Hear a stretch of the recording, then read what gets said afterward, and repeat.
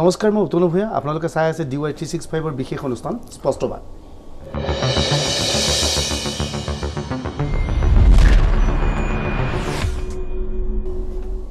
অসম ৰাজ্যিক পৰিবহণ নিগমৰ ওপৰত আমি একেলেঠে দ্বিতীয় দিনৰ বাবে কথা পাতিব ওলাইছোঁ।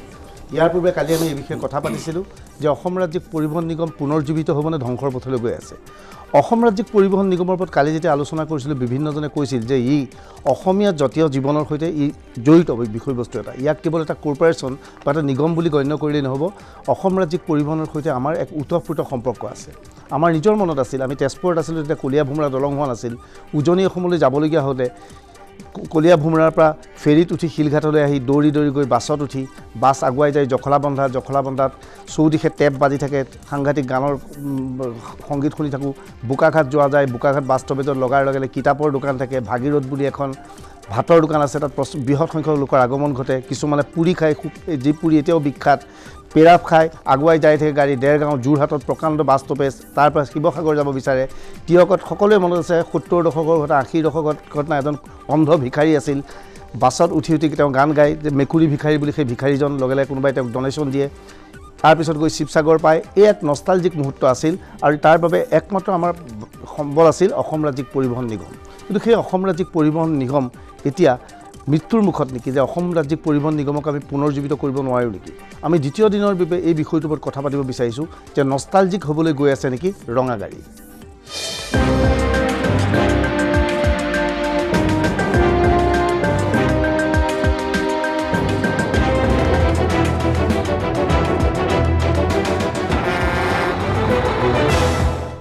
আজি এই বিষয়ে কথা পাতিবলৈ আমি আমন্ত্ৰণ জনাই আহিছোঁ অসম ৰাজ্যিক পৰিবহণ নিগমৰ পৰিচালন সঞ্চালক আনন্দ প্ৰকাশ তিৱাৰী ডাঙৰীয়া। তিৱাৰী ডাঙৰীয়া আপুনি আজি আহিব বুলি কালি এনাউন্স কৰিছিলোঁ আৰু মই ডি ৱাই থ্ৰী ছিক্স ফাইভৰ যেতিয়ালৈকে যিমান অনুষ্ঠান কৰিছোঁ আজিৰ দৰে মই ৰেছপন্স বা ৰাইজৰ সঁহাৰি পোৱা নাই। মোৰ নাম্বাৰ কোনে পাইছে নাজানো বিভিন্নজনৰ মেছেজ বাৰে বাৰে পৰিবহণ নিগমৰ বিভিন্ন কৰ্মচাৰীৰ ফোন। সকলোৱে এটাই চিন্তা যে অসম ৰাজ্যিক পৰিবহণ নিগম প্ৰাইভেটাইজেশ্যন হ'বলৈ গৈ আছে নেকি? যে পৰিবহণ নিগম বন্ধ হৈ যাব নেকি? তিৱাৰী ডাঙৰীয়া মই ভাবোঁ কি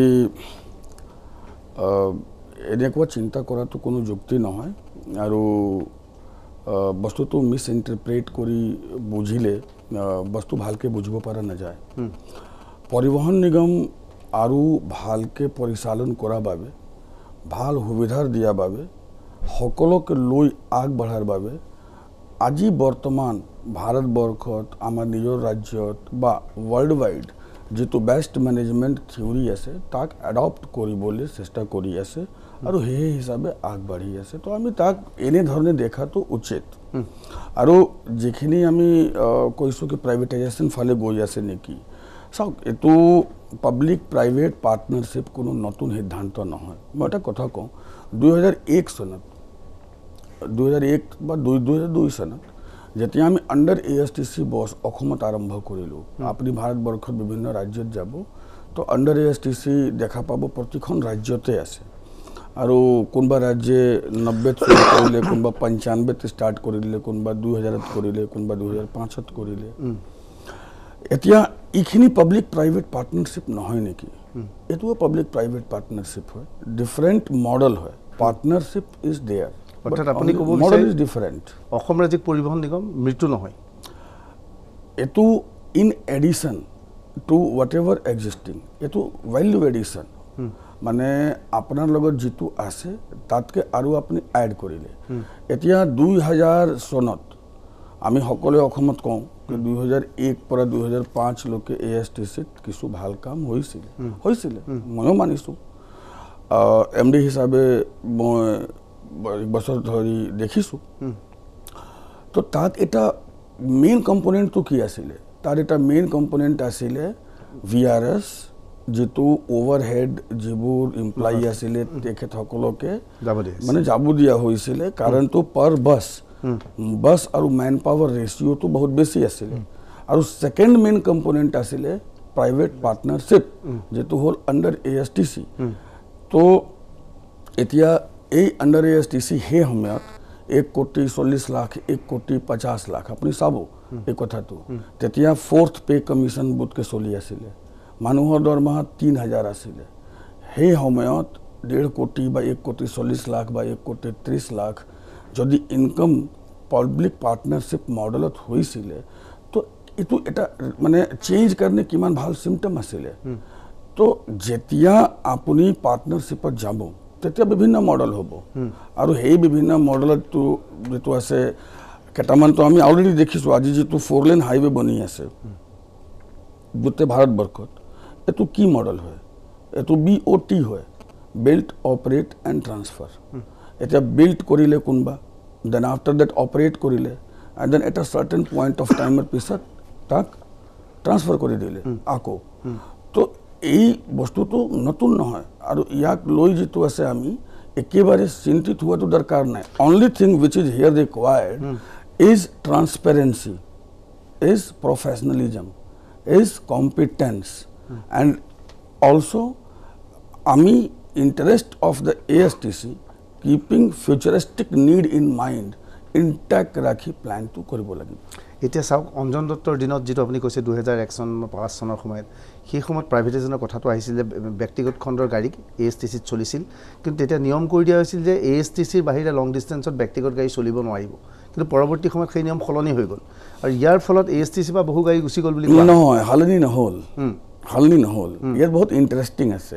এইটো ইণ্টাৰেষ্টিং ষ্টৰি আছে যাৰ ওপৰত আমি ৱৰ্কআউট কৰি আছোঁ। আৰু আপুনি জানিব কি আমি বহুত দিন পিছত অলপ চিফ্ট লৈছোঁ। এতিয়া কি হৈছিলে মই কওঁ। সেই সময়ত এটা নটিফিকেশ্যন গভৰ্ণমেণ্টৰ পৰা আছিলে বাই দ্য গভৰ্ণৰ কি চল্লিছখন ৰুট সংখ্যাটো অলপ লেফ্ট ৰাইট হ'ব পাৰে। পাৰে, হয়। নেশ্যনেলাইজ ৰুট আছিলে। আৰু নেশ্যনেলাইজ ৰুটত অগ্ৰাধিকাৰ দিয়া হৈছিলে এ এছ টি চিকে যদি এ এছ টি চিয়ে চলাব নোৱাৰে তো এই ৰুটটো বেলেগকে দিব পাৰে। It's all depend upon the decision of the A S T C সেই সময়ত under A S T C ফ্ল'টো বাঢ়িল। কিয়নো কি আপুনি বেলেগ ৰুটত যিটো নেশ্যনেলাইজ ৰুট আছিলে গোটেই হাইৱে বা ফ'ৰ লেনটো নেশ্যনেলাইজ ৰুট আছিলে। তো আপুনি চলাবই নোৱাৰে। either you have to come under ASTC or you have to take permission from the ASTC. সেই সময়ত হাইকোৰ্টত বছ মালিকবিলাকে গৈছিলে সংস্থা লৈ হাইকোৰ্টত তেখেতসকলে কেছ হাৰিলে দুহেজাৰ সাত চনত। তাৰপিছত হাইকোৰ্টে এটা ৰায় দিছিলে। সেই ৰায়টো অলপ ইণ্টাৰপ্ৰেট ঠিক নকৰা হ'ল। তাত ৰায়টো কি আছিলে এতিয়া মই কৈ দিওঁ। তিনি ধৰণৰ পাৰ্মিট আছে।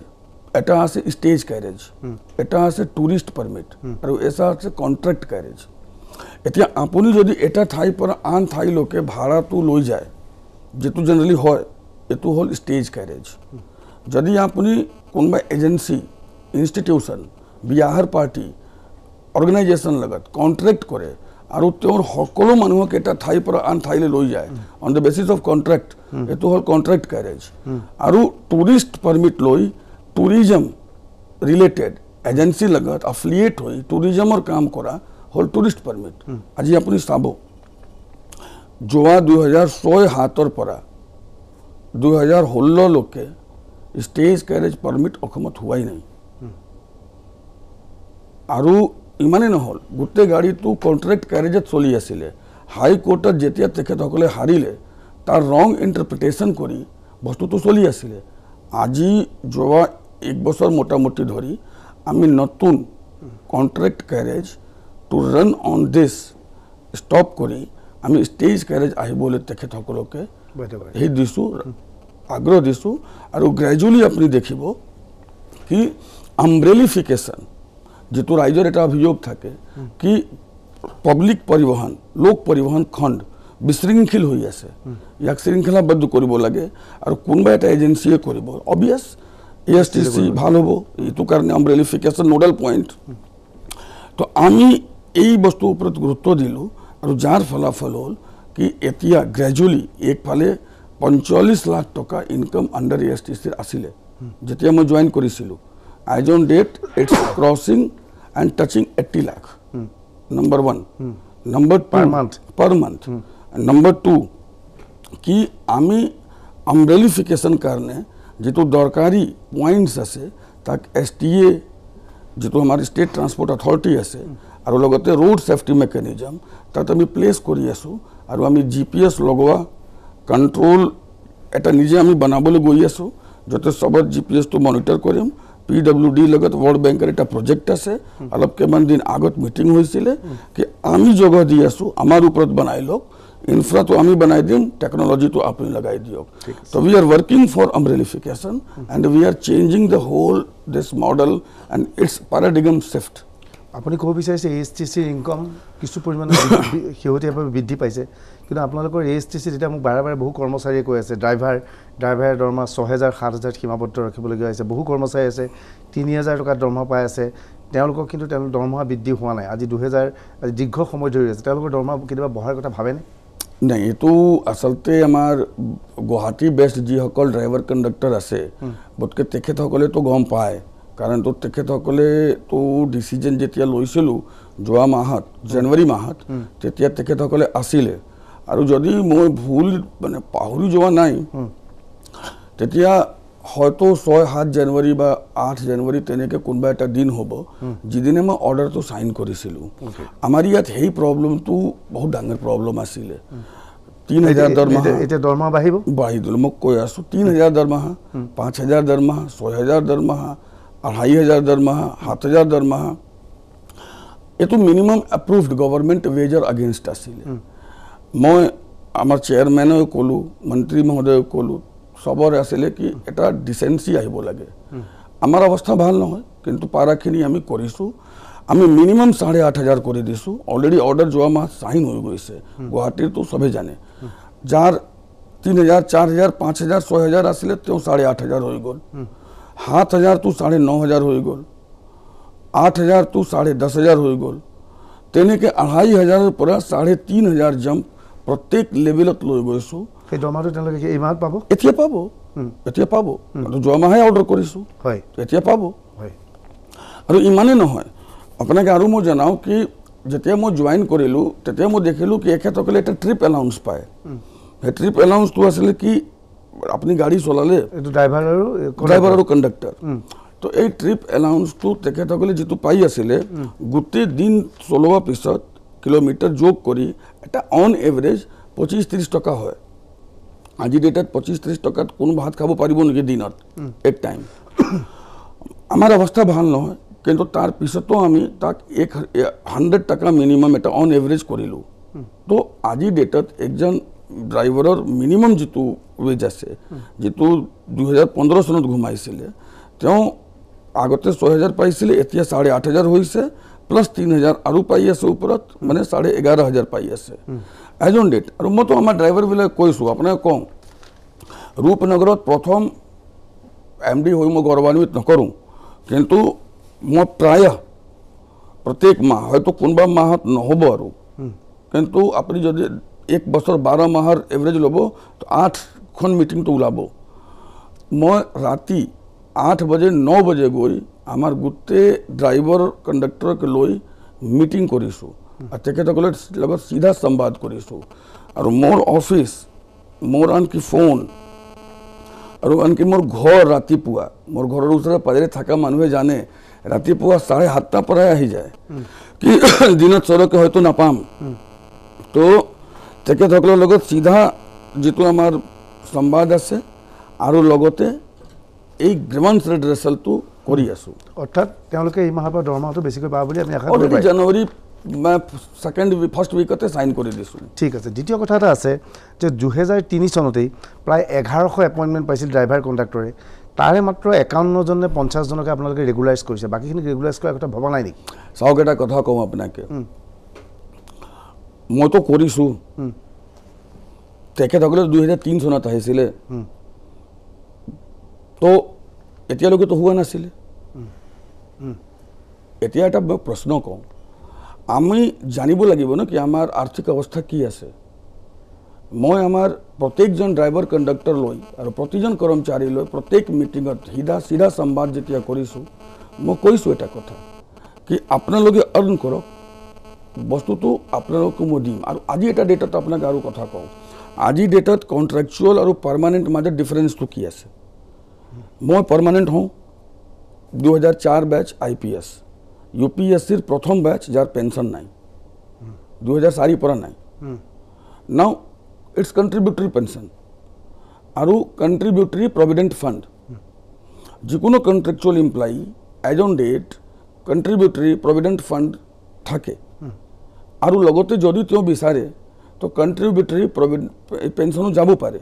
আমাৰতো ধৰক অৱস্থাটো এটা এনেকৈ সমস্যা মানে সেই আছে কি তাৰ পৰা ওলোৱাটো ডিফিকাল্ট হৈ আছে। তো গ্ৰেজুৱেলি আমি প্ৰথমটো প্ৰথম পি এফ ক্লিয়াৰ কৰোঁ তাৰপিছত পেঞ্চন চিন্তা কৰিম। কিন্তু পি এফৰ তেওঁলোকক টকা কাটি থকা হৈছে কিন্তু সেই টকা বোলে জমা দিয়া কাটি থকা হোৱা নাই। কাটি থকা হোৱা নাই। এইটোতো বহুত ডাঙৰ এটা কাহানী আছে। চবেই জনাটো উচিত। আমাৰ ড্ৰাইভাৰ কণ্ডাক্টৰবিলাকে বহুত মানুহ হয়তো বুজিব পাৰিছে আৰু কিছু বুজিব নোৱাৰাও আছে আৰু। হৈছে কি কি দুই হাজাৰ আহ, আমাৰ pay' commission fifth pay' commission আৰু ছিক্সথ পে' কমিশ্যনৰ গেপটো বহুত বেছি আছিল এইটো চবেই জানে। মানে মোৰ যদি মই নিজৰ কথা পাতোঁ তো ফিফ্থ পে' কমিশ্যনলৈকে মোৰ চেলেৰি মই জইন যেতিয়া কৰিছিলোঁ ইন হেণ্ড মই চাৰে পোন্ধৰ ষোল্ল হাজাৰ পাইছিলোঁ কিন্তু ছিক্স পে' কমিশ্যনত গৈয়ে থ্ৰী টাইম হৈ গ'ল।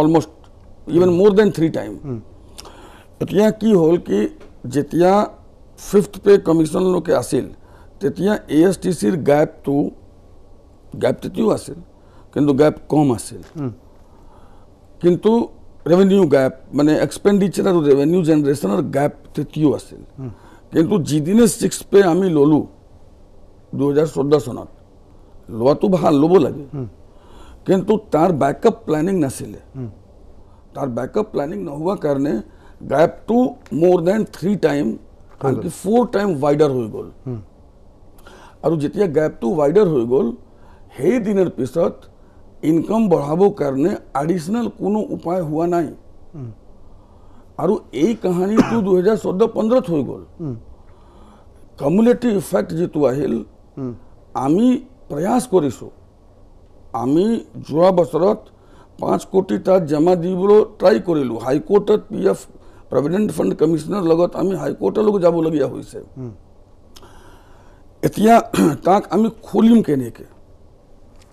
এটা হ'ল ওৱান টাইম আছিষ্টেঞ্চ নাই এতিয়া বহু কৰ্মচাৰী যিটো পি এফৰ টকাটো কাটি থকা হয় সেই কটা- টকাটো জমা দিয়া হৈছে নে নাই? জমা নাই নাই। নাই কাটি থকাই নহয় একচুৱেলি নাই, যিখিনি কণ্টেক্ট আছে ড্ৰাইভাৰ অন পেপাৰ মই কৈ আছো তো আপোনাকে কি যেতিয়া ছিক্স পে কমিশ্যন দিলে তেতিয়া গেপ ৱাইড হৈ গ'ল গেপ ৱাইড হ'লতো দৰমহা দিব নোৱাৰা হ'ল তো যিটো কাটিং আপুনি দেখিছে সেইটোতো আৰ্টিফিচিয়েল কাটিং হয় একচুৱেল কাটিং নহয় ন বুজি পোৱা নাই মই আপুনি ধৰক মোৰ দৰমহা ধৰক দহ হাজাৰ মই ত্ৰিছ হাজাৰ পি এফ কাটি ত্ৰিছ হাজাৰ হৈ গ'ল এতিয়া মোক দৰমহা দিব লাগে পি এফ কাটি মোক হয়তো সাতাইছ হাজাৰ দিব লাগিব। তো on paper artificial cutting show' হৈছে। একচুৱেলি কাটিং হোৱা নাই না। একচুৱেলি ডিপজিট হোৱা নাই না। নাই হোৱা। নাই। তো পইচাই নাছিলে যেনে তেনে দুই হাজাৰ চৈধ্যৰ পৰা দৰমহা দি আছে। গেপ ৱাইডাৰ হৈ গ'ল ছিক্স পে কমিশ্যন পিছত। আনমেনেজেবল চিটুৱেশ্যন হ'ল। তাৰপিছত এই পি এফটো কাগজত কটি আছে। কিন্তু একচুৱেল অন গ্ৰাউণ্ড কটাই নাই। জমাই হোৱা নাই। কটাই নাইতো ক'ত জমা হ'ব? মাত্ৰ তেওঁ ত্ৰিছ হাজাৰ টকাৰ তেওঁ দৰমহা সাতাইছ হাজাৰ টকা এতিয়া পাব লাগে এতিয়া সাতাইছ হাজাৰ যোগাৰ কৰি দি দিছে. ত্ৰিছ হাজাৰ টকাটো পাৰে একজেক্টলি সেই বস্তুটো দুহেজাৰ চৈধ্য পোন্ধৰৰ পৰা কমিউলেটিভ হৈ আছে। এতিয়া আমাৰ সন্মুখত এইটো এটা ডাঙৰ প্ৰত্যাহ্বান আছে। সেই টকাটো ক'ৰ পৰা দিব? আমি প্ৰথম খোল খাবলৈ চেষ্টা কৰিলোঁ। আমি যোৱা বছৰ পাঁচ কোটি টকাটো জমা দিলোঁ। লাষ্ট ফাইনেন্সিয়েল ইয়াৰ এতিয়া বস্তু আছে কি পাঁচ কোটিতটো নহ'ব পঁচিছ কোটি আৰু লাগিব। এতিয়া পঁচিছ কোটি টকা আমি জমা দিব লাগে। আমাৰ আমাৰ গভৰ্ণমেণ্টে যোৱা বছৰো মানে গভৰ্ণমেণ্ট অফ আছাম যোৱা বছৰ হেল্প কৰিছে। এই বছৰতো আমাক হেল্প কৰিব বুলি আমি আশা কৰিছোঁ আৰু আমি নিশ্চয় সহায় পাম। আমি ইয়াৰ ওপৰত বিভিন্ন লেভেলত আলোচনা কৰিছোঁ। ঠিক আছে। কিন্তু যিটো ধৰক ওৱান টাইম ক্লিনিং এইটোতো এটা পাৰ্ট হ'ল পি এফৰ ধৰক গভৰ্ণমেণ্টে আমাক ওৱান টাইম দি নাই, ঠিক দিলে আছে মই বুজিলোঁ কথা দি দিলোঁ। কিন্তু পাৰ মান্থ একচুৱেল কাটিং কাৰণে কি হ'ব? তাৰ বাবে আমি কিছু নতুন বিজনেছত ঘুমাইছোঁ এতিয়া।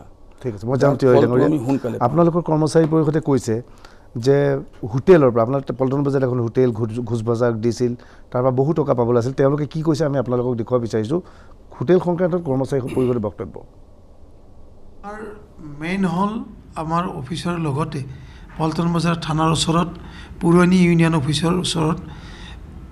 এইটো চৰকাৰৰ তৰফৰ পৰা কেন্দ্ৰীয় চৰকাৰে এন এ চি ফাণ্ডেৰে এটা যাত্ৰী নিবাস বুলি মানে যাত্ৰীৰ সুবিধাৰ্থে যাতে কম পইচাত আহি গুৱাহাটীত থাকিব পাৰে যাত্ৰী নিবাস এটা বনাইছিল। এইটো সময়ত আগৰ চৰকাৰৰ দিনত সেইটো যাত্ৰী নিবাস গুচি এটা বিলাসী হোটেল তৈয়াৰ কৰিলে আৰু হোটেলখন ঘোষ ব্ৰাদাৰ্ছক আমাৰ কণ্টুৰ হোটেল নামেৰে এখন টেণ্ডাৰ কৰি দিয়া হ'ল। প্ৰতি মাহত দহ লাখ পঁয়সত্তৰকৈ তেওঁ টেণ্ডাৰ মাৰিলে আৰু সেই লৈ তেওঁ দুমাহমান মাত্ৰ আমাক ভাড়া আদায় দিলে। কোন চনত? এইটো দহ চনত এইটো তেওঁক দিয়া হৈছিল। দহ চনৰ পৰা তেওঁ দুই তিনি মাহ ভাড়া দিয়াৰ পিছত যেতিয়া ভাড়া দিবলৈ বাদ দিলে আমি আন্দোলন আন্দোলন কৰিলোঁ হোটেল বন্ধ কৰি দিলোঁ।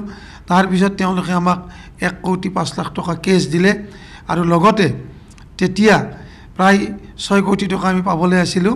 সেইখিনি টকাৰ কাৰণে তেওঁ চেক দিলে চেকটো বাউঞ্চ হৈ গ'ল। এতিয়া কেছ চলি আছে।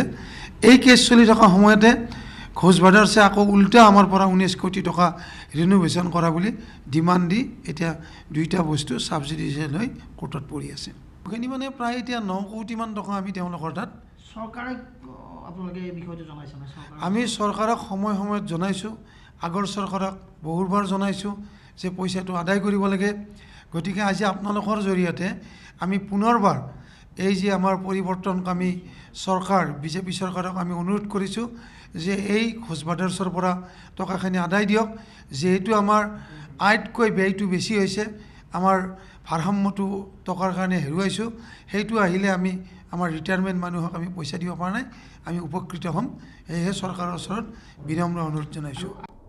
বৃহৎ পৰিমাণৰ ধন আপোনালোকে ঘোষ ব্ৰাদাৰ্ছৰ পৰা পাবলৈ আছে সেই টকাটো পালেও কৰ্মচাৰীক প্ৰভিডেণ্ট ফাণ্ডৰ টকা জমা দিবৰ কাৰণে সুবিধা হয়। কি ব্যৱস্থা ল'ম বুলি ভাবিছে? এতিয়া কথাটো হ'ল কি আপুনিতো আইনী ব্যৱস্থা জানে। যেতিয়া মই ইয়াত জইন কৰিলোঁ তাৰ আগতে ঘোষ ব্ৰাদাৰ্ছৰ লগত কেছ টেছ চব কৰি হাইকোৰ্টত বস্তুটো পঠাই দিলে। তাৰপিছতো মই ঘোষ ব্ৰাদাৰ্ছকে মাতিলোঁ। মাতি মই ট্ৰাই কৰিলোঁ এটলিষ্ট এটা জেনুইন গ্ৰাউণ্ডত আহোঁ। তেওঁ কিছু কিছু কথা কৈ আছিলে কি মই সেইটো বনাইছোঁ ইণ্টেৰিয়াৰ বনাইছোঁ অমুক বনাইছোঁ তমুক বনাইছোঁ। মই ক'লোঁ হ'ব আপুনি এটা কাম কৰক আপুনি চলাব পৰা নাই তো খালী কৰি দিয়ক। এটলিষ্ট আমাক যিটো আছে আমি নতুন বিজনেছটোও ষ্টাৰ্ট কৰোঁ। আৰু বাকী যিটো পে'মেণ্ট আছে সেইটো আমি আৰু আপোনালোক চাম আৰু কি কৰিব লাগে। তো তেওঁ এটা উল্টাকে বিল আমাক দিলে।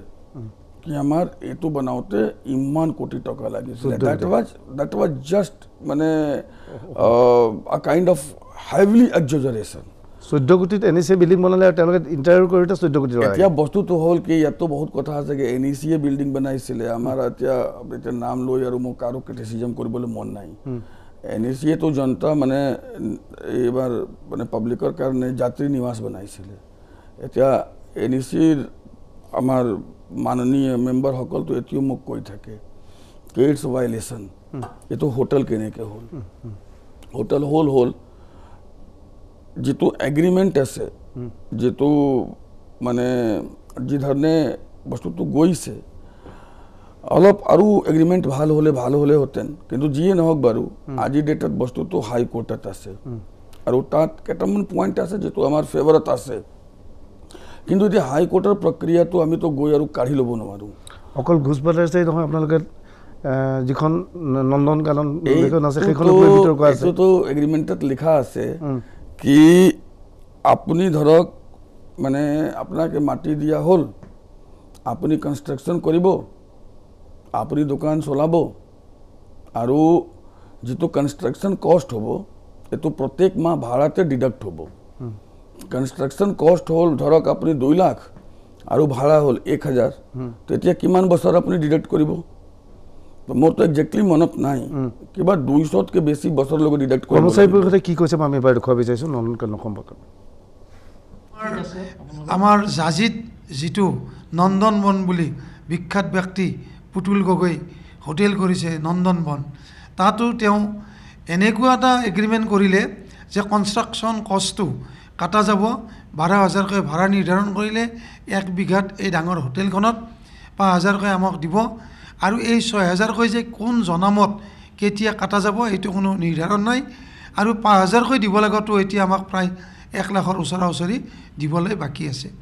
আমি আপোনালোকে জানে চিপাঝাৰত এখন বৃহৎ বজাৰ জয়নাথ শৰ্মা মন্ত্ৰী হৈ থকা সময়ত এ জি পিৰ দিনত সেইখন তাত দিলে তাত শ্বহীদ ভৱনো বনালে।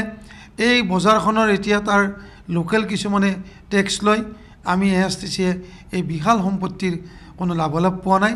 গতিকে এইটো আমি বিজেপি চৰকাৰক অনুৰোধ কৰিছোঁ এইটোৰো এটা যাতে ভাল সুস্থিৰ সিদ্ধান্ত গ্ৰহণ কৰে। আৰু ধুবুৰীত পি এইচ চি অফিচত আছিলে মই যেতিয়া ধুবুৰীত যাই দেখিলোঁ দুহেজাৰ ছয় চনৰ পৰা পি এইচ চি আমাক অফিচ কৰিছে ভাড়া দিয়া নাই তেতিয়া এদিন গৈ মই তালা মাৰি দিলোঁ আৰু দুপক্ষৰ এটা বুজাবুজি হ'ল আৰু এতিয়া আমাক তেখেতসকলে প্ৰায় ফিফটি ছিক্স লাখ টকা দিবৰ কাৰণে এখন বিল বনাই দিছোঁ আমি অতি কম দিনত সেই টকাটো পাবৰ কাৰণে সক্ষম হ'ম। তিৱাৰী টিঙৰে দেখিছে আপোনালোকৰ বহুত প্ৰপাৰ্টি আছে বা সাতশ চল্লিছ বিঘা নে কিমান মাটি আছে বুলি কৈছে গোটেই অসমত। কিন্তু যদি এনেকুৱা অৱস্থা হয় গোটেই সেই মাটিত থকা নথকা একেধৰণে তাক পুনৰ জীৱিত আপোনালোকে কেনেকৈ কৰিব? এই মাটিখিনি কি হ'ব? নে আপুনি শুনিছে কি তেখেতে কৈছে কি ধুবুৰীত আমি ঠিক কৰিলোঁ। এতিয়া মই বিলিভ কৰোঁ right person for right job তো আগতে কি আছিলে কি আগতে যেতিয়া ধৰক ইউনিয়ন আছিলে তো ইউনিয়ন আৰু মেনেজমেণ্ট এটা বেলেগ ধাৰাত চলি আছিলে।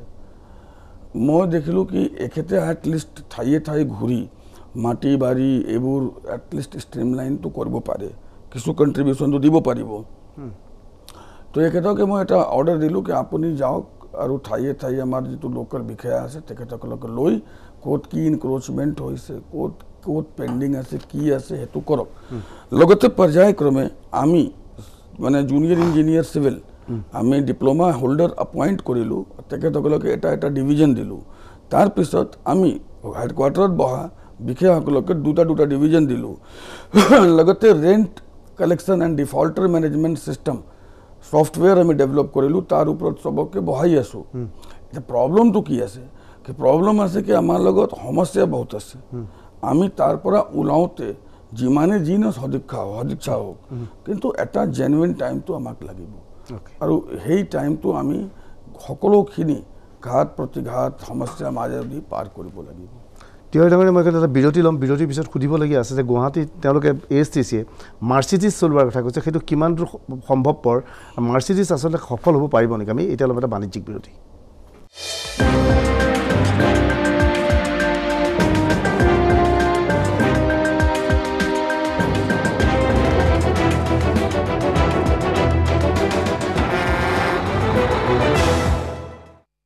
আমি কথা পাতি আছোঁ অসম ৰাজ্যিক পৰিবহণ নিগমৰ ওপৰত। আমাৰ লগত আছে অসম ৰাজ্যিক পৰিবহণ নিগমৰ পৰিচালন সঞ্চালক আনন্দ প্ৰকাশ তিৱাৰী ডাঙৰীয়া। আমি প্ৰশ্ন কৰিছোঁ যে আচলতে লাল গাড়ী বা ৰঙা গাড়ী নষ্টালজিক হ'বলৈ গৈ আছে নেকি?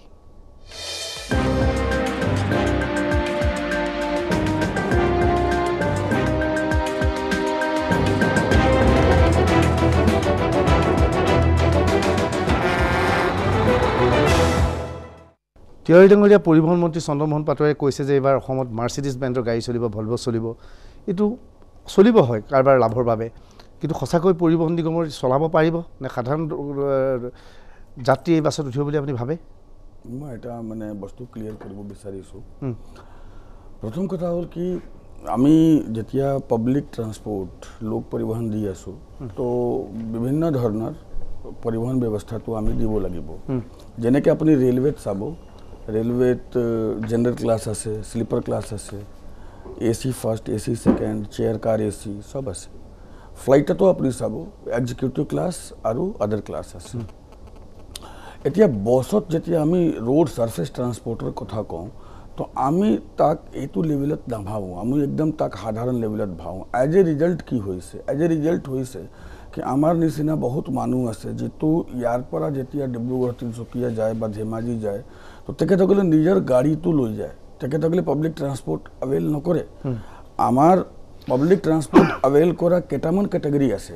এটা কেটেগৰী আছে যিটো সাধাৰণ শ্ৰেণীৰ বছত যায়। কাৰণতো তেখেতসকলে এইটো ভাল পায়। এইটো আভেইল কৰে। আৰু এটা কেটেগৰী আছে যিটো ডিলাক্সত যায়। আৰু এটা কেটেগৰী আছে যিটো তাতকৈ ওপৰত যায়। এটা আৰু কেটেগৰী আছে যিটো টেক্সি হায়াৰ কৰি যায় বা নিজৰ গাড়ী লৈ যায়। আৰু তাৰ কাৰণে ৰাতি বা ৰাতিপুৱা বহুত সময়ত চাওঁ আমি কি সৰু গাড়ীৰ লগত যিটো আছে বিভিন্ন ধৰণৰ এক্সিডেণ্টো হয়। ডাঙৰ গাড়ীৰো এক্সিডেণ্ট হয় কিন্তু সৰু গাড়ীৰ অলপ সংখ্যাটো বেছি হয়। আমি যদি ৰোড ছেফটি লজিক চাওঁ মনত লগতে যদি আমি হায়াৰ ছেগমেণ্টটো টেপ কৰিব বিচাৰোঁ তেতিয়া আমি সেই ছেগমেণ্টকে টেপ কৰাৰ কাৰণে সেই হিচাপে বছ দিব লাগিব আৰু লগতে এই ছেগমেণ্টত যিটো ৰেলৱেৰ কমফৰ্টেবিলিটি আছে তাৰ লগত আমি মেচ কৰিব লাগিব। এতিয়া ডিব্ৰুগড়ৰ পৰা ৰেল আহি আছে তিনিচুকীয়াৰ পৰা ৰেল আহি আছে যোৰহাটৰ পৰা। ৰেল আহি আছে নিশ্চয়। তেনেহ'লে ৰেলত উঠি আপোনাৰ মাৰ্চিডিছত কিয় উঠিব? দাম বেছি দি।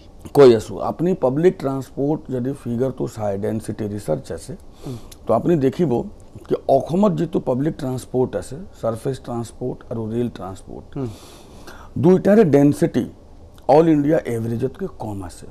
ইট শ্ব'জ ইট মিনছ কি as on date we need more and more public transport in all the segment in lower segment middle segment and upper segment এতিয়া কুৱেশ্যন হ'ল কি হোৱাট উই শুড ডু আমি এটা চিন্তা কৰিলোঁ লোৱাৰ ছেগমেণ্ট আৰু মিডিল ছেগমেণ্ট আমি নিজে চলাওঁ। লোৱাৰ ছেগমেণ্টটো আমি ঠিক আছে চৰকাৰৰ লগত প্ৰপ'জেল দিছোঁ। মই মাৰ্চিডিছৰ পাৰ্টটো কওক। ম- নিশ্চয় ইয়াতে সেইটোও পাৰ্ট আছে। মুখ্যমন্ত্ৰী লোক পৰিবহন যোজনা আমি লোৱাৰ ছেগমেণ্টত দিছোঁ কি আমি গ্ৰাম্য পৰিবহন চলাম চাৰিশ বছ কিনা প্ৰপ'জেল আমাৰ লগত অলৰেডি আছে ইয়াৰ ওপৰত মিডিল ছেগমেণ্টত আমি under A S T C প্লেয়াৰটো লৈছোঁ হায়াৰ ছেগমেণ্ট দুই কোটি পৌনে দুই কোটিৰ বছ আমি পি পি পি মডেলত আহি আছোঁ আমি তিনিটা ছেগমেণ্টৰ পাব্লিকৰ চিন্তা কৰিম আমি পাব্লিক ট্ৰান্সপৰ্ট দি আছোঁ এতিয়া মাৰ্চিডিজ যিটো কথা আছে মাৰ্চিডিজত যিটো আছে আপোনাৰ বায়' টয়লেট আছে মাৰ্চিডিজত যিটো আছে আমাৰ পেণ্ট্ৰি আছে মাৰ্চিডিজ যিখিনি চলিব এইটো নন ষ্টপ চলিব আপুনি ট্ৰেইন ক'ত ধৰে ট্ৰেইন তিনিচুকীয়াত ধৰে এতিয়া তিনিচুকীয়াত মানুহে ট্ৰেইন ধৰিবলৈ ডিগবৈৰ পৰা কেনেকৈ আহে এতিয়া যদি তাক ডিগবৈৰ পৰা আপুনি দিয়ে মাৰ্ঘেৰিটাৰ পৰা দিয়ে ট্ৰেইনটো লৈ যাব নোৱাৰিব মাৰ্ঘেৰিটা এতিয়া আপোনালোকে ভলভ চাৰ্ভিছ এখন চলি আছিল পাঁচখন গাড়ী চলি আছিল নিশ্চয়। এতিয়া তাত আমাৰ তাত যিটো তথ্য আছে শিৱসাগৰ যিখন গাড়ী চলাইছিল সেই গাড়ী আপুনি দুদিন চলাই বন্ধ কৰি দিবলগীয়া হৈছে। নহয় আমি তাৰ বন্ধ কৰা নাই তাক আমি ৰুট যিটো আছে ডি ডিফাইন কৰিছোঁ। তো ইয়াতে আৰু এটা তথ্য আছে কি যিটো ডিগবৈ মাৰ্ঘেৰিটা চলি আছে এইটো ছাকচেছফুলি ইষ্টাব্লিছ হৈ গৈছে। ইয়াত ইয়াত আৰু এটা প্ৰশ্ন আছে। আৰু ইয়াত ইয়াত এটা তথ্য আছে কি ধুবুৰীত যিটো চলি আছে চৰি শিলচৰ সেইটোও ইষ্টাব্লিছ হৈ গৈছে। চি দিছ ইজ অপাৰেশ্যন ইয়াত দুট এইখিনিতে কথা আছে যে প্ৰাইভেট কোম্পানীয়ে গাড়ীখন চলাব। গাড়ীখন চলোৱাৰ কাৰণে আপোনালোকে প্ৰাইভেট এ এছ টি চিয়ে তেওঁলোকক টকা এটা দিব। যিটো তথ্য আছে তেল আপোনালোকে দিয়ে যে এখন মই এখন যদি ডিগবৈলৈ গাড়ী চলিব যায় তাত কমেও সাতাইছজন বা ত্ৰিছজন যাত্ৰী যদি নাথাকে তেনেহ'লে এ এছ টি চিৰ পকেটৰ পৰা পইচা যাব ইয়াত দুটা মডেল আছে। এটা মডেল আছে A S R T U model সেইটো হ'ল অল ইণ্ডিয়া লেভেলৰ ছাৰ্ফেচ ট্ৰান্সপৰ্টৰ এটা বডি যিটো প্ৰত্যেক ৰাজ্যৰ ৰাজ্যিক পৰিবহণ নিগম আৰু যিটো ডাঙৰ ডাঙৰ অপাৰেটৰ আছে চবক লৈ এটা ইলেক্টেড বডি হয় আৰু ministry of road surface transport ভিতৰত চলে। এ এছ আৰ টি ইউৰ যিটো পি পি পি মডেল আছে এইটো আছে পাৰ কিলোমিটাৰ পইচা দিয়া আৰু অপাৰেশ্যন কৰা। তাত আমি তেল ভৰাম আমি অপাৰেট কৰিম কণ্ডাক্টৰ আমাৰ হ'ব। আৰু বাকী কিনাটো তেওঁৰ। কাম মেইনটেনেঞ্চ তেওঁৰ ৰিপেয়াৰিং তেওঁৰ ড্ৰাইভাৰ তেওঁৰ চাফাই তেওঁৰ চব তেওঁৰ। এতিয়া আমি যিটো কণ্ট্ৰেক্ট কৰিলোঁ আমি ভলভো পাঁচখন A S R T U মডেলত লৈছোঁ। কিন্তু মাৰ্চিডিজে লোকে যাওঁতে আমি নিজে এটা নতুন মডেলটো বনাই দিলোঁ। এই নিজৰ নতুন মডেল বনাওঁতে আমি বহুত বাৰ্গেনিং আৰু বহুত যিটো আছে টি ডি এছ প্ৰচেছটো ল'বলগীয়া হ'ল ৰিচাৰ্চ কৰিবলগীয়া হ'ল। আৰু সেই মডেল আছে কি আমি একো নকৰোঁ। আমি মাত্ৰ ফেচিলিটেট কৰিম আৰু ৰেগুলেট কৰিম। এ এছ টি চিয়ে তেল নিদিব এ এছ টি চিয়ে পইচা নিদিব? নো মাৰ্চিডিজ একশো পঁচাত্তৰ আছে one seventy five large party Mercedes তাত যিটো আছে তেখেতৰ তেল তেখেতৰ বছ তেখেতৰ ৰিপেয়াৰিং উম, এতিয়া আপোনালোকে আমাৰ লগত কি আছে আমাৰ লগত আছে মনিটৰিং আৰু পাৰ কিলোমিটাৰ পইচা দিব লাগিব আপোনালোকে নো ফিক্স কৰিছোঁ নো পাৰ কিলোমিটাৰ আমি বাইছ হাজাৰ per bus per month number one number two যিটো কাৰ্গো তেখেতসকলে লৈ যাব বা কুৰিয়াৰ তাত থাৰ্টি পাৰ্চেণ্ট ৰেভিনিউ শ্বেয়াৰিং আৰু তিন নম্বৰ কণ্ডিশ্যন আছে কি হায়াৰ মেনেজমেণ্ট এক পাৰ্চেণ্ট বাদ দি নাইণ্টি নাইন পাৰ্চেণ্ট যিটো আছে তেখেতসকলে অসমত ল'ব আৰু skill development mission employment generation mission skilled man power specially in hospitality sector automotive sector তেখেতসকলকে man power provide কৰিব ইয়াত আমাৰ পাৰ বাছ এষ্টিমেটেড ইনকাম পঞ্চাছ হাজাৰতকৈ ওপৰত যাব মই মিনিমাম এষ্টিমেটেড ইনকাম কৰি আছোঁ নম্বৰ ওৱান নম্বৰ টু আমাৰ ইয়াত স্পেচটো আমি দি আছোঁ ৰেণ্ট বেচিছ সেই ৰেণ্ট বেচিছ স্পেচত প্ৰি ফাইভ ষ্ট্ৰাকচাৰ এইটো ইটা মাটি আৰু চিমেণ্ট লৈ কনষ্ট্ৰাকশ্যন নহয় প্ৰি ফাইভ ষ্ট্ৰাকচাৰ তেখেতসকলে খাৰা কৰিব এয়াৰ কণ্ডিশ্যন লঞ্চ যাৰ ভিতৰত বেম্বো আৰু কেন আৰু আমাৰ অসমৰ সংস্কৃতি শ্ব' কৰি তেখেতসকলে লাউঞ্জটো ৰাখিব। প্ৰতিটো ষ্টেচনত থাকিব মানে তেইছখন স্থানত। এইটো ট'টেলি প্ৰি ফাইভ হ'ব সেইটো সেইটো তেওঁলোকে বনাব? তেওঁলোকে বনাব।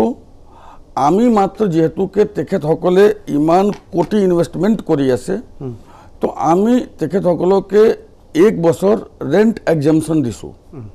তাৰপিছত যিটো পাৰ স্কুৱাৰ ফিট গভৰ্ণমেণ্টৰ নৰ্মছ আছে সেই হিচাপে তেখেতসকলে ৰেণ্ট দিব। ইয়াৰ driver conductor H T C থাকিব নে বাহিৰত থাকিব? তেখেতসকলে ৰিক্ৰুট কৰিব ইয়াত ৰিক্ৰুট কৰিব আমি ৰিক্ৰুট কৰাম আৰু মই আপোনাক অলপ আগতে ক'লোঁ কি Assam skill development mission hospitality sector পৰা ট্ৰেইণ্ড গ্ৰাউণ্ড ষ্টাফ আৰু কণ্ডাক্টৰ দিব। চিমিলাৰলি অট'মেটিভ ছেক্টৰ পৰা ট্ৰেইণ্ড ড্ৰাইভাৰ দিব তেখেতসকলকে অলৰেডি তেখেতসকলে লেটাৰ দি দিছে ৰেকৰ্ড এইটো কেতিয়াবা আশা- আশা কৰিছোঁ এই মাহত বহাগ বিহুত আমি ৰাইজকে এই সেৱাটো প্ৰথম চল্লিছখন বছেদি আগবঢ়াম চি এই গোটেই যিটো বস্তু আছে ইয়াত আমাৰ আমাৰ অবজেক্টিভটো কি পৰিবহণ নিগমৰ অবজেক্টিভটো প্ৰফিটেবিলিটি নহয় পৰিবহণ নিগমৰ অবজেক্টিভ আছে optimum utilization of resource better public service আমি better public ছাৰ্ভিচত high end P P P model middle end under A S T C আপোনাক মই এটা আৰু কথা কওঁ। মই আপোনাক ক'লোঁ অঞ্জন দত্ত দেৱৰ দিনত ডেৰ কোটি লোকে আণ্ডাৰ এছ টি চি গৈছিলে। আৰু পিছত মই যেতিয়া জইন কৰিলোঁ তো পঞ্চল্লিছ লাখ আছিলে। এতিয়া পঞ্চল্লিছ লাখৰ পৰা আশী লাখ মই লৈ আহিলোঁ। কিন্তু under A S T C পলিচিত reform required আছে। আজি দুহেজাৰ দুইৰ পৰা দুহেজাৰ আঠাৰলৈকে আহোঁতে বহুত সময় পাৰ হৈছে। আৰু মাৰ্কেটৰ চৰিত্ৰ সলনি হৈছে। আপুনি এজন ধৰক আমাৰ এজন নিবনুৱা ল'ৰা তেওঁ তিনি লাখ টকা ডাউন পে'মেণ্ট দি টাটা আল্ট্ৰা বছ কিনিলে। এতিয়া তেওঁ এ এছ টি চিত আহিব ছিকিউৰিটি মানি আৰু ৰেজিষ্ট্ৰেশ্যন এমাউণ্ট এই দুটা তাৰ সত্তৰ হাজাৰ হ'ব। এইটো তেওঁৰ কাৰণে ডিমটিভেটিং ফেক্টৰ নহয় জানো? Number one number two per kilometre per day calculation আছিলে এক টকা পঁচিছ পইচা এক টকা পঁয়ত্ৰিছ পইচা পঁচিছ দিন চলাব লাগে আপুনি চিটটো চাব টাইম চিট তাত তেৰ দিন চৈধ্য দিন পোন্ধৰ দিনৰ এভাৰেজ পাব তেতিয়া বাকী দিনটো ক'ত গ'ল এতিয়া আমি আণ্ডাৰ এছ টি চি গোটেই পলিচিটো চেঞ্জ কৰি দিলোঁ যোৱা বৰ্ড মিটিঙত এতিয়া আমি পাৰ মান্থ ফিক্স কৰি দিছোঁ পঁচিছ দিনৰ এভাৰেজ লৈ যিটো ৰেট আজি ডেটত আছে তাৰ পৰা দহ পাৰ্চেণ্ট কমাই আৰু ইণ্টাৰেষ্টিংলি আপোনাক কওঁ মই যিটো তেখেতসকলে দি আছে এক টকা পঁয়ত্ৰিছ পইচা ৰেটত এক টকা পঁচিছ পইচা কৰাৰ পিছতো পঁচিছ দিনৰ এভাৰেজত টোটেল প্ৰাপ্যটো বাঢ়ি আছে। ইটছ ইণ্টাৰেষ্টিং আৰু এতিয়া এনেকৈ আছিলে কি ধৰক গাড়ী এক্সিডেণ্ট হৈ গ'ল আপোনাৰ আপুনি আণ্ডাৰ ষ্টেচিৰ মালিক তো আপোনাৰ দুই মাহ গাড়ী নচলিল তো তাৰো পইচা আপুনি দিব লাগে এছ টি চিকে আপুনি এক বছৰ নচলালে কিন্তু আপোনাৰ টাইম শ্লটটো এনে পৰি আছে। ইমানেই নহয়। ইয়াত আৰু যিটো ইণ্টাৰেষ্টিং ইছ্যু আছিলে এইটো আছিলে কি টাইম চিট ল'বৰ কাৰণে আণ্ডাৰ এ এছ টি চিৰ মানুহবিলাকে মালিকবিলাকে বহুত হাৰাশাস্তি খাইছে।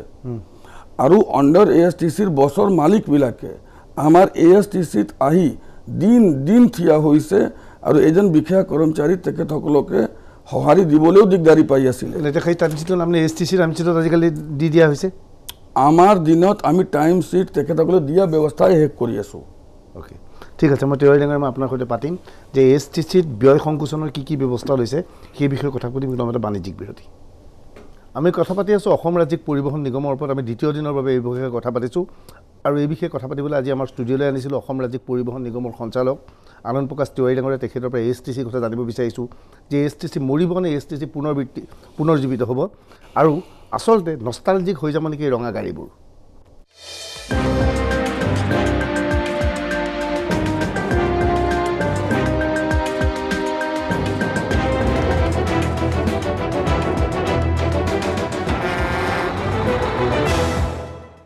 তিৱাৰী ডাঙৰীয়া আপুনি কৈছে যে ব্যয় সংকোচন কৰিবলৈ আপুনি চেষ্টা চলাইছে।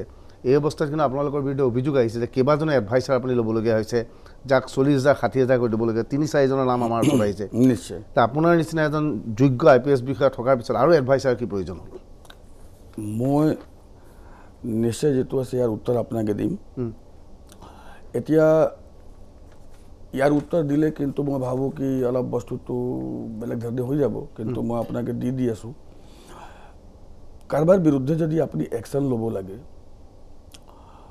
তো তাৰ ওপৰত আপুনি শ্ব'কজ নটিচো বনাব লাগিব ইনকুৱাৰী কৰিব লাগিব কমচে কম পঞ্চাছ পেজ পেপাৰ ৱৰ্ক কৰিব লাগিব তাৰপিছত তেওঁ হাইকোৰ্টতো যাব। আৰু যদি আপোনাৰ ৰাইট আপটো ভাল নহয় তো আপুনি হাইকোৰ্টত হাৰি যাব। ঠিক। এতিয়া যিজন এডভাইজাৰ এইচ আৰ আছে তেখেতে একজন ভাল আইন জানা আৰু মানে ভাল ধৰণে গোটেইখিনি লিখিব পৰা ব্যক্তি হয়। আনজন যিটো আছে তেখেতে ইঞ্জিনিয়াৰ আছিলে ইয়াতে চিফ ইঞ্জিনিয়াৰ হৈছিলে এ এছ টি চিত আৰু তেখেতে এটা ভাল বিষয়া হিচাপে ইয়াত পৰিচিত। তো আপুনি যিখন কামত যায় তাত যিটো ৰিকুৱাৰমেণ্ট থাকে সেই হিচাপে আপুনি কৰিবলগীয়া হয়।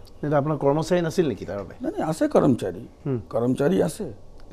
যথেষ্ট। আছে চি আমাৰ দহ পাৰ্চেণ্ট কোৱালিটি আছে নাইণ্টি পাৰ্চেণ্ট কোৱান্টিটি আছে এতিয়া এই দহ পাৰ্চেণ্ট কোৱালিটি আৰু নাইণ্টি পাৰ্চেণ্ট কোৱান্টিটিকে লৈ চলিবলগীয়া আছে তো আউটচোৰ্চ ছাপোৰ্টটো লাগিব আৰু আউটচোৰ্চ ছাপোৰ্ট যদি আমি নিদিওঁ তেতিয়া মই ভাবোঁ কি বহুত ধৰণৰ সমস্যা ইয়াত ক্ৰিয়েট হৈ যাব তো এইকাৰণে আমাৰ এডভাইজাৰসকল যিটো আছে এজনটো চিভিল ইঞ্জিনিয়াৰ হয় তেওঁ ইৰিগেশ্যন ডিপাৰ্টমেণ্টৰ পৰা অন ডেপুটেশ্যন আছে তেখেতেতো দৰমহা তাতে পায় এছ চিৰ পৰা নলয় আকৌ যিসকল এডভাইজাৰ আছে তেখেতে এটা চৰকাৰৰ ৰুল আছে last pay minus pension is equal to redeployment এতিয়া আমি যাক লৈছোঁ লৈছোঁ last pay minus pension is equal to redeployment এতিয়া বস্তুটো হ'ল কি আপুনি যেতিয়া কাম কৰিবলৈ যাব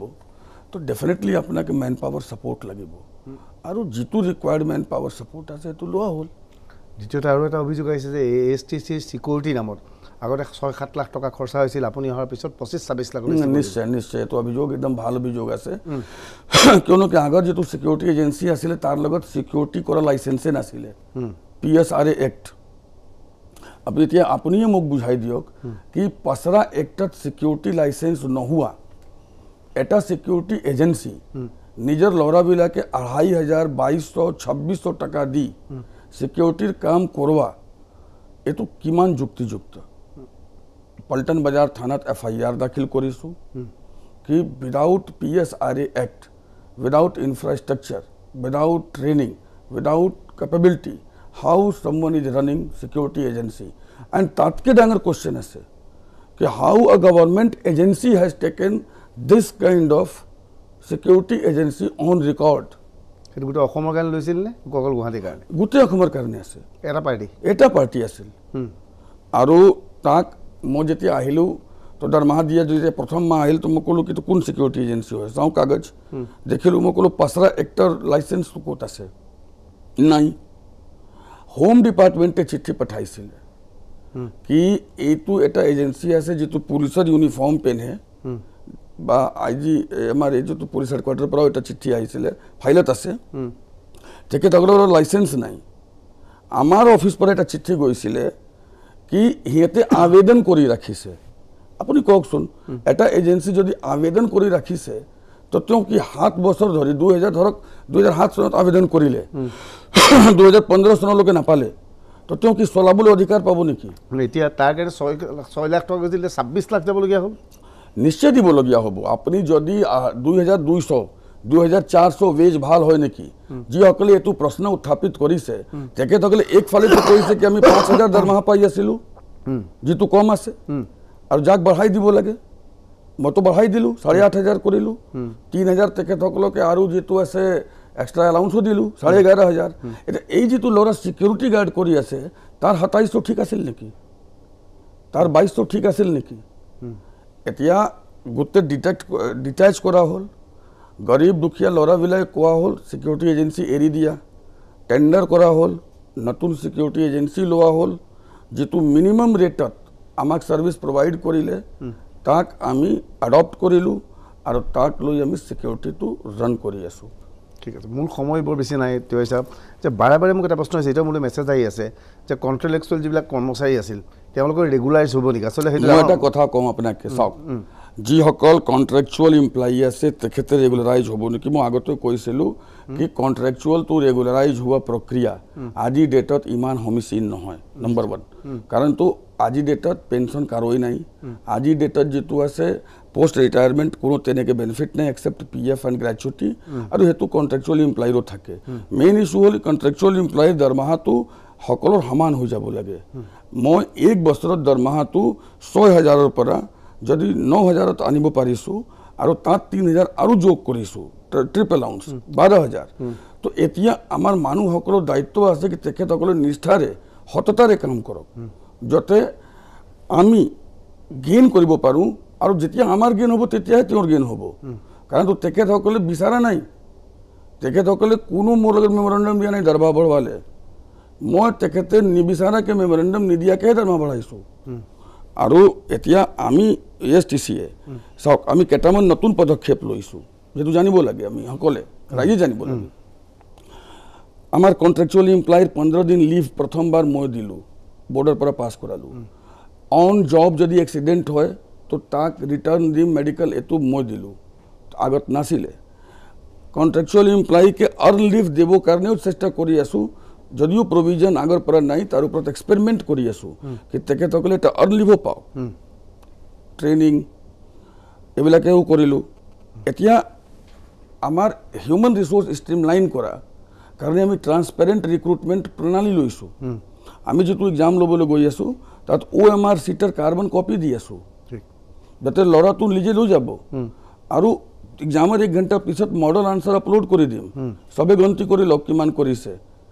এতিয়া এতিয়া যে আৰু এটা প্ৰশ্ন বাৰে বাৰে কৈ আছে যে আপোনালোকে যিটো কথা কৈছে আপুনি চেলেৰিটো বঢ়োৱাৰ কথাটো কৈছে। বহুত অফিচে এতিয়ালৈকে অৰ্ডাৰটো পোৱা নাই বুলি কৈছে বিভিন্ন মইতো আজি এতিয়া যিটো আছে হোৱাটছএপত আনি আপোনাকে আগৰ দি দিম। মোৰ হিচাপত চাৰি পাঁচ ছয় সাত ফেব্ৰুৱাৰীৰ হ'ব। জানুৱাৰীৰ আৰু এতিয়া কোনোবা লখিমপুৰ শিৱসাগৰত যদি অৰ্ডাৰ পোৱা নাই আৰু আমাৰ যিটো এ এছ টি চিৰ বিষয়াবিলাকে আছে তেখেতসকলে যদি জনোৱা নাই তাত সেইটো দুৰ্ভাগ্যৰ বিষয় আছে। কিন্তু আপোনাৰ মতে সকলো ৰূপনগৰত ড্ৰাইভাৰবোৰক নিশ্চয় গম পায় গুৱাহাটীত চবে গম পায় আৰু তেখেতসকলে যেতিয়া হাতত চেলাৰী পাব তেতিয়াহে গম পাব কাৰণ তেখেতসকলে গৈ অৰ্ডাৰ হয়তো পঢ়াও নাই। কিন্তু সেইটো জানুৱাৰীত কৰি দিয়া হৈছে আৰু আজি তেখেতসকলে বিচাৰি আছে ভালে লাগিছে কিন্তু মোৰ লগত আহি তেখেতসকলে কেতিয়াও নিবিচাৰিলে নিবিচাৰাকৈ কৰা হৈছে। সেইটো আমাৰ কনচাৰ্ণ হয় নিজৰ। নিশ্চয়। মোৰ সময় শেষ হৈ গৈছে তিৱাৰী ছাৰ বহুত বহুত ধন্যবাদ। আমি বিচাৰিছোঁ যে এ এছ টি চি থাকক। কিন্তু কেইটামান ইছ্যু আছে যিটো আমি জনাটো দৰকাৰ আছিল। জানে? আমি খুব বেছি এক মিনিট আমি অ এন জি চিৰ লগত এটা নতুন এগ্ৰিমেণ্ট কৰিছোঁ যাৰ পৰা আমি এটা ভাল বেনিফিট হ'ব। আমি ভেহিকেল ফিটনেছ টেষ্টত ঘুমাইছোঁ যাৰ পৰা ভাল বেনিফিট হ'ব। তেনেকৈ যিটো আছে আমি এটা আমাৰ মানে ট্ৰান্সপৰ্ট প্লাজা বনোৱা এটা মানে আমি ৰাইজৰ লগত ৰাইজৰ পৰা লৈ এটা অৱধাৰণা লৈছোঁ যাৰ পৰা ভালহে হ'ব। তেনেধৰণে আমি কেইটামান ৰিফৰ্মেটিভ বহুত ষ্টেপ লৈছোঁ সময় নাই মই ক'ব নোৱাৰোঁ। কিন্তু মই চিয়'ৰ আছোঁ আমাৰ ৰেভিনিউটো বিছ ত্ৰিছ পাৰ্চেণ্ট বাঢ়িছে। আমাৰ ইন মানে এক্সপেণ্ডিচাৰটো বিছ পাৰ্চেণ্ট ৰিডিউচ হৈছে।